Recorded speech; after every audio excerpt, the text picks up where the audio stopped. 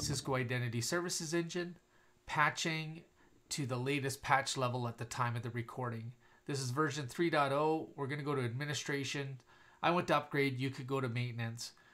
Go ahead and hit click repository because we went the long route here um, and then click patch management.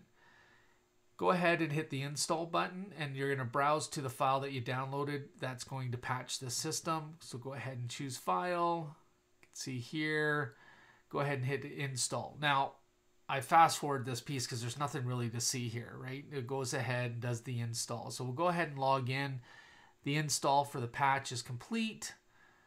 We'll go ahead and we'll go over here to the cog and we'll check out um, the version. So we'll go to about identity services engine. And if we click that, we should see version 3.0.0.458. We'll go ahead and hit close here.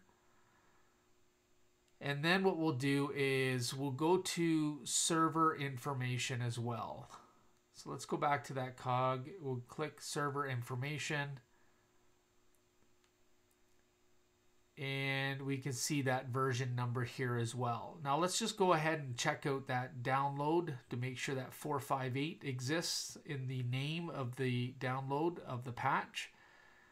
And we can see there it is 348 patch 1 so that's it. Pretty easy to patch an identity services engine